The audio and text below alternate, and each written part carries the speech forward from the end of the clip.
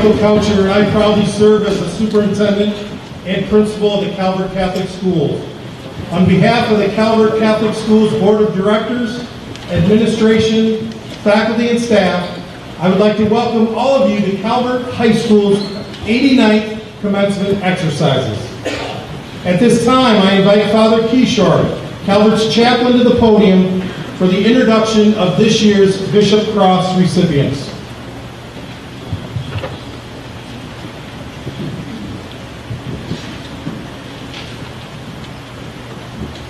On May 24th, at the Baccalaureate Mass for the class of 2016, I had the honor of announcing the recipients of the Bishop's Cross for the graduating class. The Bishop's Cross is the highest honor a Catholic high school in the Diocese of Toledo can award. It was after consultation with faculty and staff, the administration and our pastors that we were able to announce that Alison Hudson, Drew Ritzler are this year's recipients of the Bishop's Cross. Since they are good examples and role models of living a life of faith, it is only fitting that they lead us in prayer today.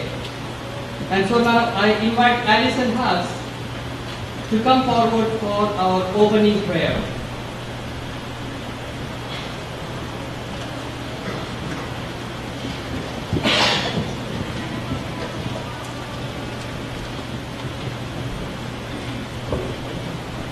May this graduation day be a celebration of your life within us.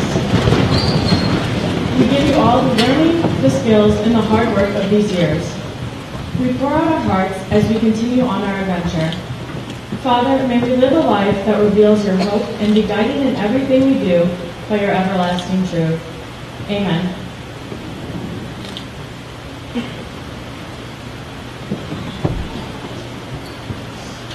Now for a pledge of allegiance. for the to the flag of the United States of America and to the republic for which it stands, one nation, under God, indivisible, with liberty and justice for all. You may be seated. Good afternoon. Today is a truly a wonderful day. It is great to have so many family members, friends, and supporters class of 2016 at Calvert Catholic Schools. This year, I'm proud to present our first speaker, salutatorian, Nick Felton.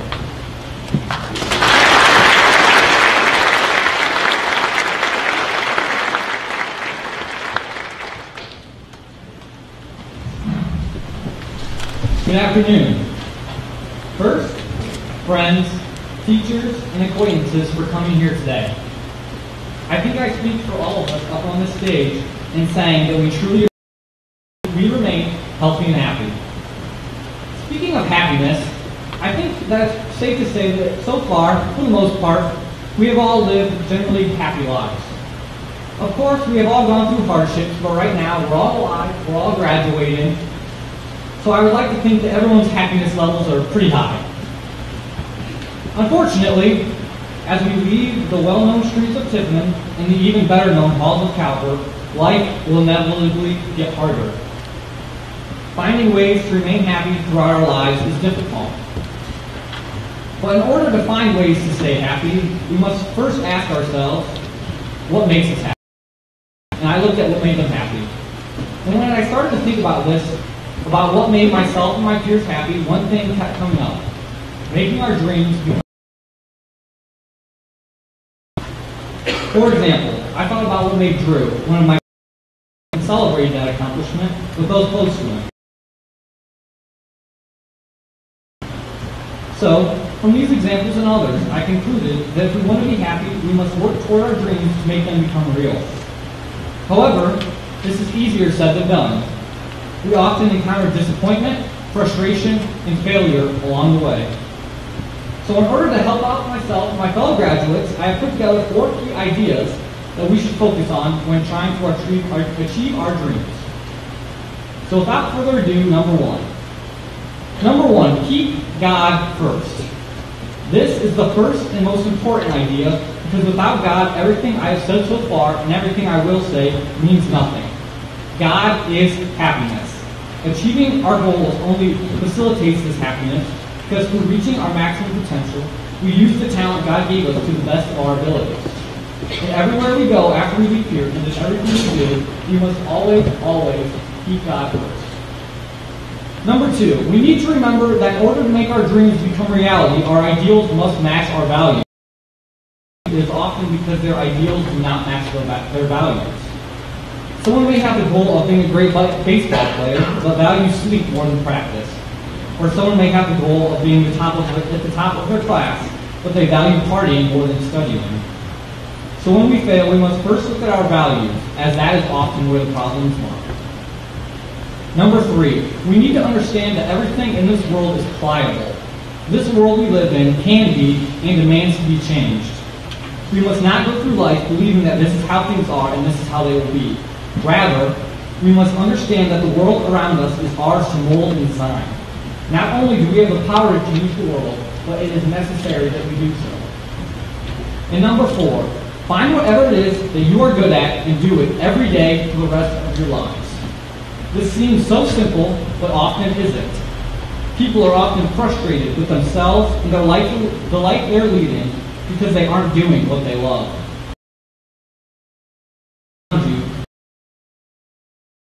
Do what they love or doing what they're good at. Adam Reckler plays a lot of football because he's good at it. Allison Huss enjoys working on her art because she's good at it. As humans, we love striving in what we do, so we do what we're good at.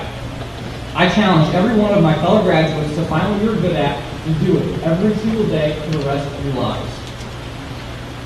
As I conclude, I want to quickly review. Number one, keep God first. Number two, our ideals must match our values. Number three, this world is pliable. And number four, find what you are good at. And finally, I would like to leave you today with a quote. Mark Twain once said, the two most important days in your life are the day you are born and the day you find out why. So with that thought in mind, I have one final challenge for my fellow graduates, myself, and all of you here today. Find out why. Thank you and God bless.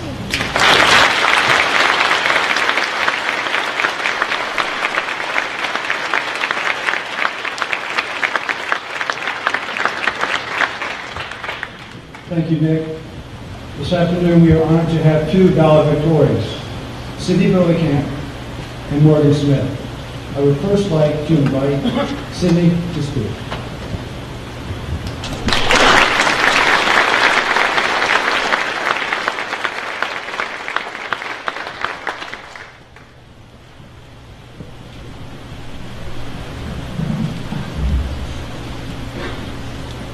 My fellow classmates, Nathan Scott from One Tree Hill once said, one day you're 17 and planning on Sunday. Then quietly, without ever really noticing, Sunday is today and that Sunday is yesterday. And this is your life. Can you believe only six short years ago, we were standing in the front hallway of St. Joe's, or what is now Calvert Elementary, gossiping about how we were to be the first seventh grade class at Calvert High School. And now we're getting ready to walk out the front doors for the first time as graduates. How did it all go by so fast? It seems like only yesterday, we were the little seventh graders, constantly getting lost, walking on the left side of the hallway, which we soon learned was the wrong side, and getting yelled at by the upperclassmen and the teachers. We were class full of troublemakers back then. Now we are the upperclassmen, the seniors who stand here ready to graduate and move forward in the world. Yet, at this life-changing moment, we can't help but look back on the memories and the changes that we witnessed. Starting with this gym. Remember when the walls were once green? While that seems like forever ago, we were one of the few classes that were able to participate in sporting events on both the new and old gym floors. As a class, we had four different principals, three different superintendents, three different math teachers, two English teachers, four religion teachers, and about 20 Spanish teachers. Not have that many, but eighth grade year we did have a lot. Do you remember when Mr. Roman was just our health teacher? And we looked forward to his class because that was about the only time of day that we would be able to leave the basement in junior high. Well, for that, in the movie Super Size Me, which by freshman year I'm pretty sure we saw both.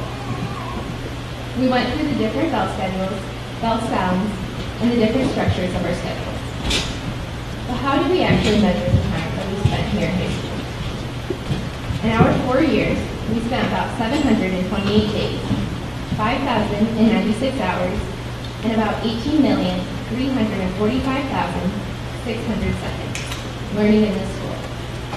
But is that actually how we measure the time spent here? In the beginning, we measured it in class periods. We even had the bell schedule memorized. Even this year, I'm able to tell you, the first period started at 7.50 and ended at 8.36. And the fourth period started at 10.17 and ended at 11.03. But as the days and weeks passed, we measured it in semesters and later in years as we moved from being the clueless freshmen to being the sophisticated sophomores who waddled our way into first place at field day. We then became the junior class who survived a bomb threat and decided that junioritis did in fact exist. Now, here we stand. Although it went by quickly, our rule is over. We do not have another experience, prom, or another field day to dominate, which, by the way, we won three years in a row. Our time of sitting in the front row of the bleachers is over. Those events will soon just become memories.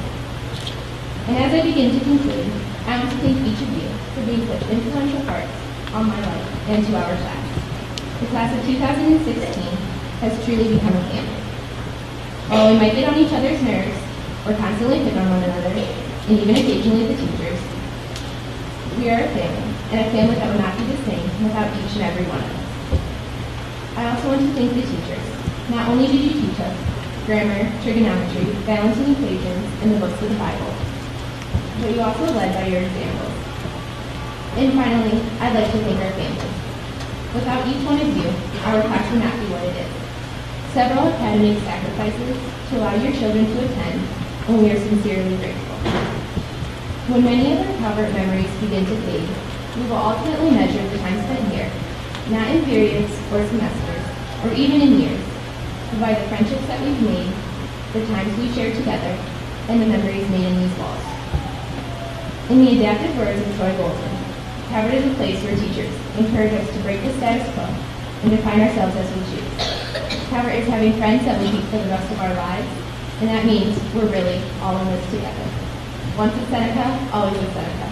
Congratulations, class of 2016. We did.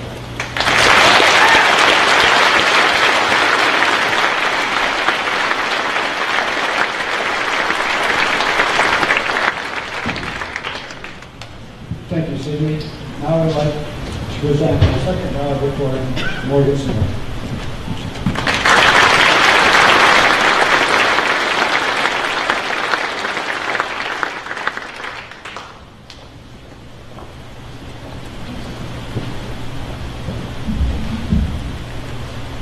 Good afternoon. Before I begin, I would like to take the time to thank all parents, teachers, faculty, and staff who have helped us graduates along our journey to graduation. I know we can be a handful at times, but despite that, you all never lost faith in us and in our potential. I think I can speak for everyone in saying that we are very appreciative of the many sacrifices that have been made for us, and are thankful to have had such amazing mentors and role models over the years. I would also like to congr- congratulate Nick on being named salutatorian and Sydney for being named valedictorian. It honestly feels like a dream come true to share this achievement with my childhood best friend. I guess the many tedious hours of playing school in my basement as kids finally paid off.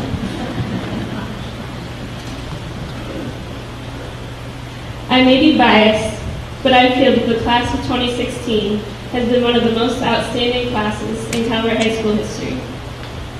While we are small in number, we make up for our lack of numbers and talent. Whether athletically, academically, artistically, or socially, our class has never failed to impress. However, our talent is not the reason why I feel our class is historic. Over the years, the class of 2016 has seemed to get the short end of the stick.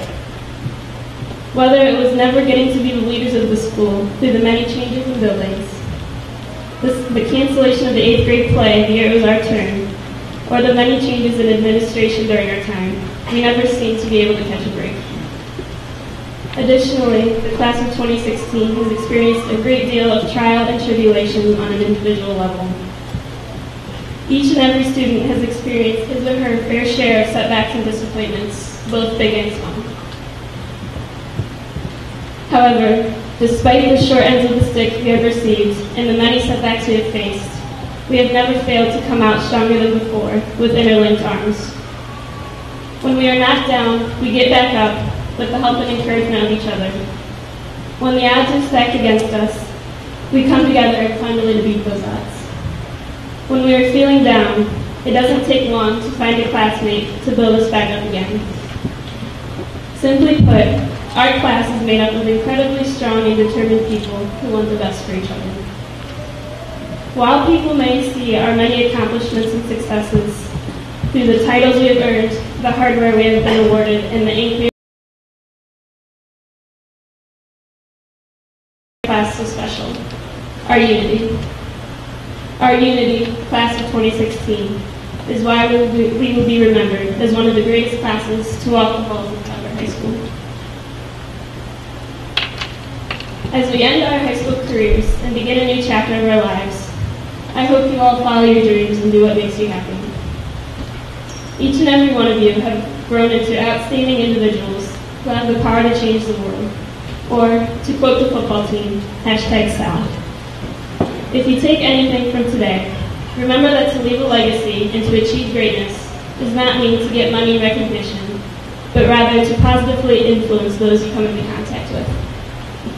Class of 2016, and most importantly, believe that you can do absolutely anything you put your mind to. Congratulations, class of 2016. It has been an incredible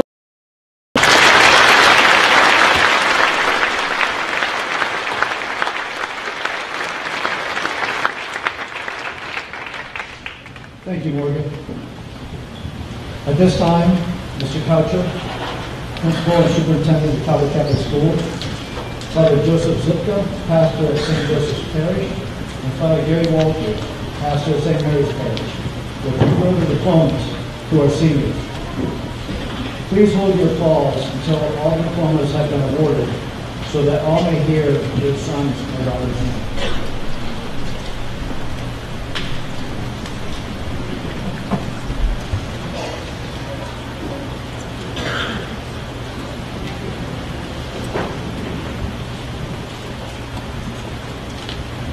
Sydney Lauren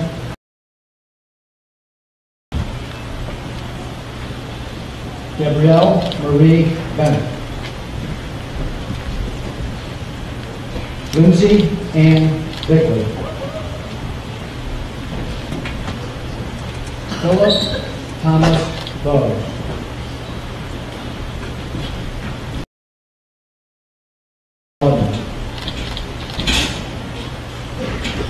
Brianne Renee Cooper.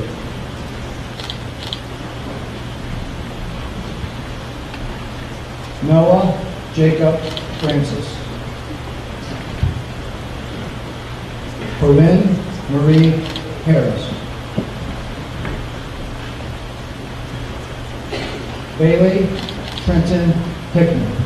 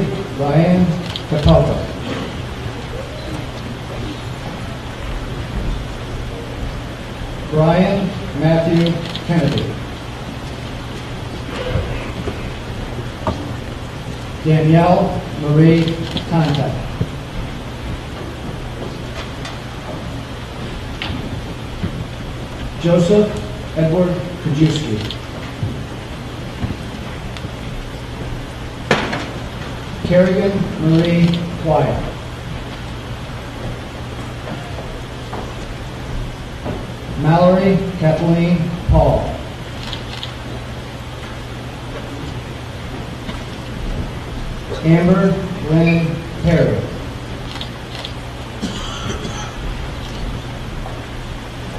Adam Richard Record.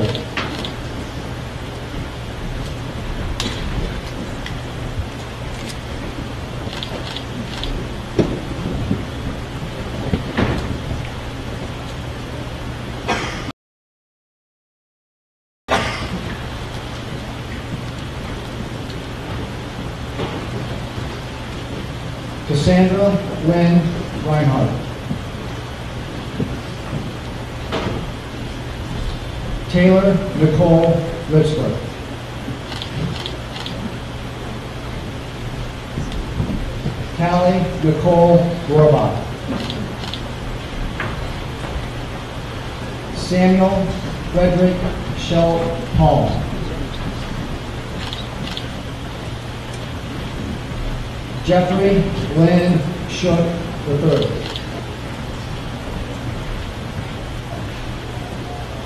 Abilene Michelle Stewart.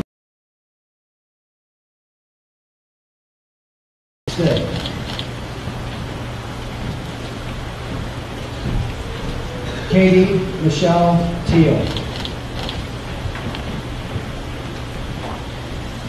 Alexandria Lynn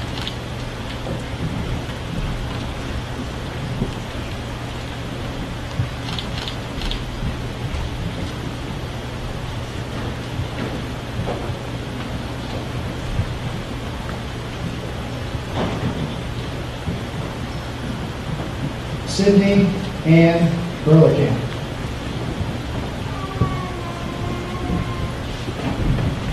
Morgan Lee Smith.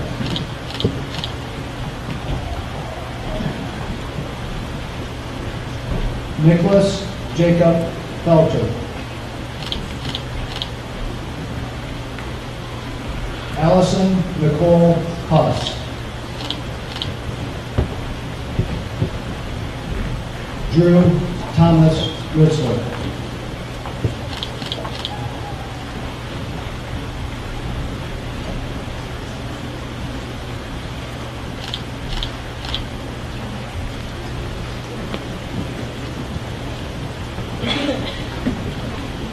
Graduates, please stand.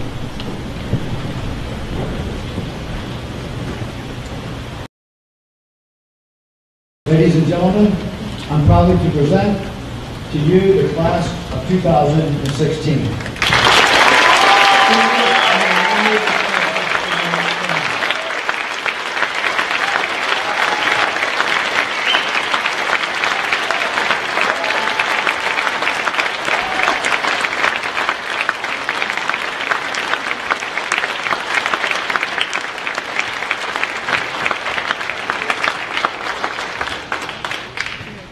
At this time, these young men and women would like to honor and thank you, their parents, and others who have made sacrifices and gave them support they needed the last four years, and for many, the last 12 years of Catholic education. Students, may take your pen,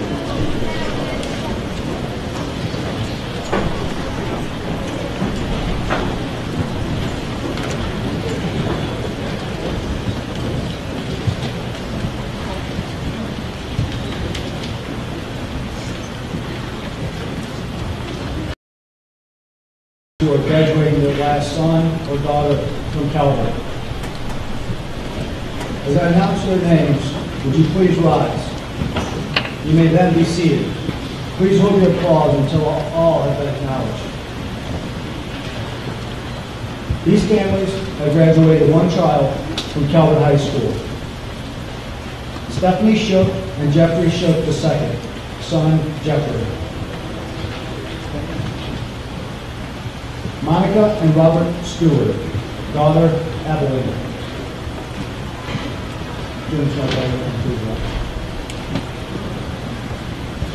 Regina and Brian Reamer, daughter Alexandria.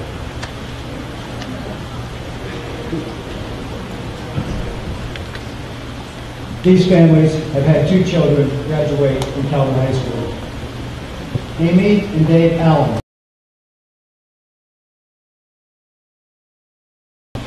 Shelley and Tim Felter, son Nicholas.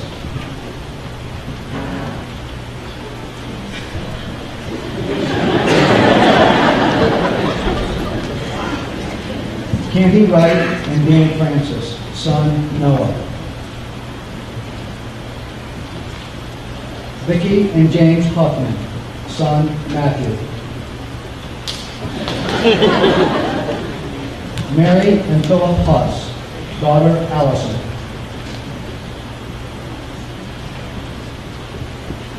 Stephanie Moyer and Michael Robach, daughter Callie. Mandy Maddox, son Devin. Dr. Bonnie and Greg Teal, daughter Katie. These families have had three children graduate from Calvert High School. Gina and Brian Bennett, daughter Gabrielle. Jan and Mark Contact, daughter Danielle. Karen and Larry Whistler, daughter Taylor. These families have had four children graduate from Calvert High School. Gail and Thomas Bose, son Philip. Linda and Anthony Perry, daughter Amber. Congratulations.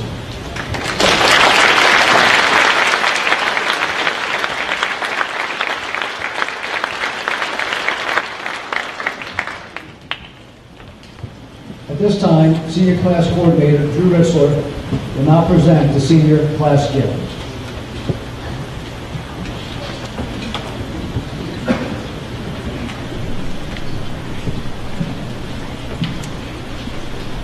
Thank you.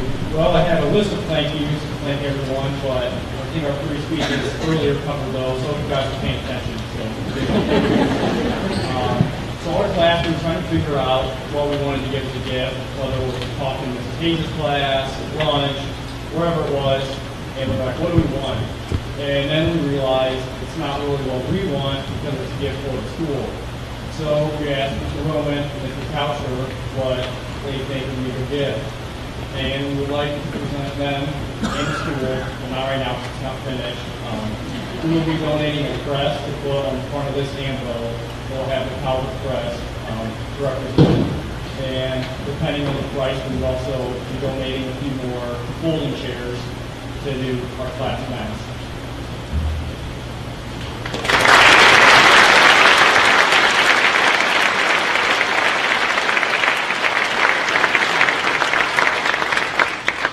Thank you, Drew and seniors.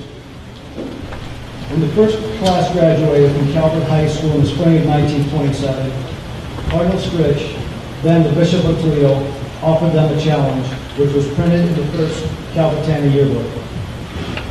At this time, Michelle Palm, from the class of 1996, would like to offer that challenge to our seniors again today.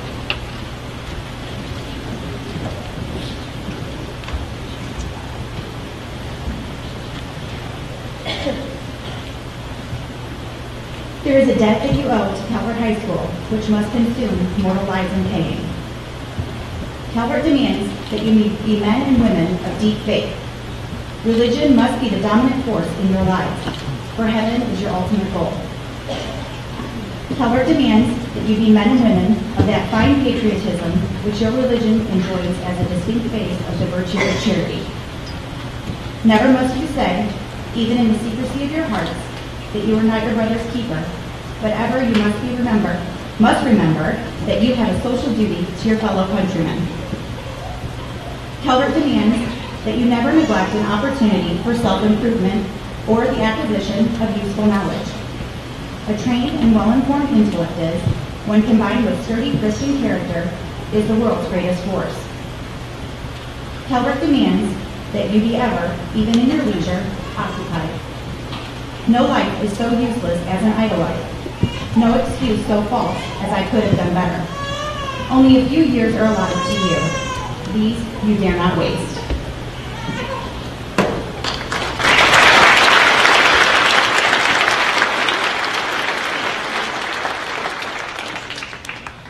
Those are great words to live by. In keeping with tradition, I would like Taylor Harris, class of 2019, sister of senior senior Corinne Harris, will deliver the senior challenge.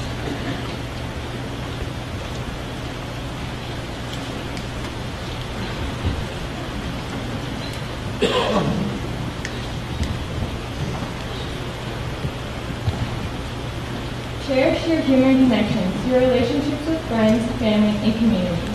For four years, you've had impressed upon you the importance of higher education, a career, dedication, faith, service, and hard work.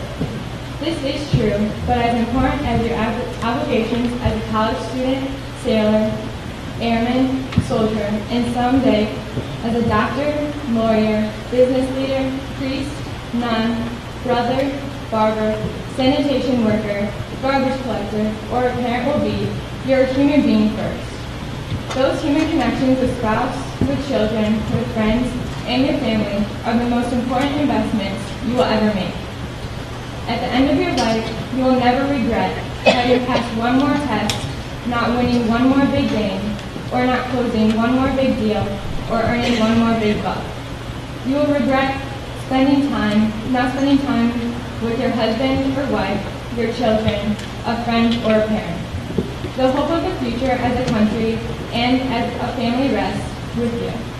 Go out and enjoy life, but more importantly, make a difference. Make a difference in your community, for Calvert, for the country, or just within your own circle of friends or your family.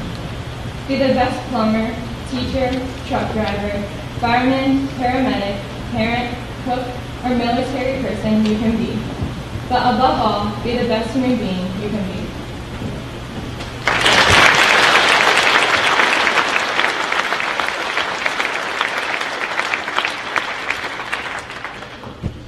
Thank you, Taylor. Class of 2016, I welcome you as graduates and proud alumni of Calvert High School.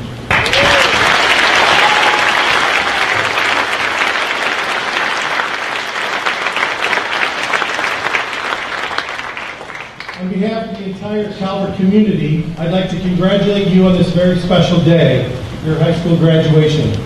You have worked very hard for this day and should be very proud of yourself and very proud of all the wonderful things that you have accomplished. I am confident that you all will accomplish great things in the years to come. Parents, congratulations to you as well, and thank you for entrusting your sons and daughters to us, and thank you for your confidence in our schools. Graduates, this is a time to give thanks for the many blessings that you have received over the past 12 years. First and foremost, you should be thankful to God for His many blessings that He has bestowed upon you and for, and for providing you with your unique gifts and your special talents. Secondly, you should be thankful to your parents for their support and for the sacrifices that they have made to send you to the Calvert Catholic schools. Thirdly, you should be thankful to your teachers for their commitment and dedication to your education. And lastly, you should be thankful to your classmates for their support and guidance along the way. We have supplied you with the necessary tools to be successful, and now it is up to you to go out and transform the world. God bless all of you, and may God bless the people that you will become. This concludes Calvert High School's 89th commencement exercises. I now welcome Drew Ritzler, Calvert Bishop's Cross recipient, to the podium for the closing prayer.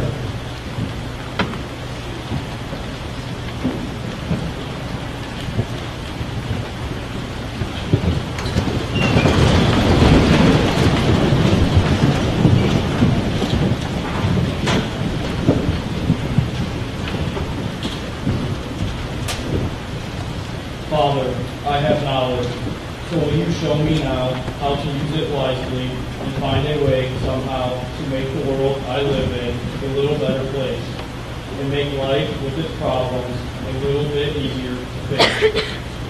Grant me faith and courage to put purpose in my days and show me how to serve thee in effective ways so my education, my knowledge, and my skill may find their true fulfillment as I learn to do thy will. And may I ever be aware in everything I do that knowledge comes from learning and wisdom comes from you. Amen.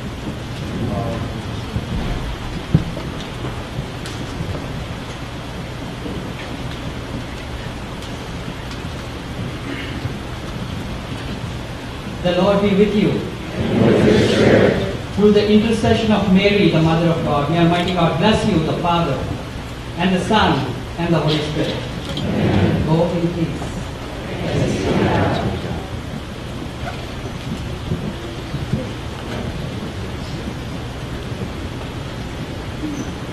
Please remain standing and join the class of 2016 in the singing of the Calvert High School alma mater.